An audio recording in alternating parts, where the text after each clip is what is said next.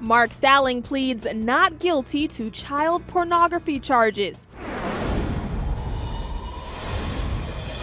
The former Glee star entered a not guilty plea to possessing and receiving child porn in Friday's hearing in Los Angeles. An eyewitness tells ET the 33 year old actor appeared very nervous, keeping his head down throughout most of the scheduled arraignment, only briefly talking to one of his attorneys.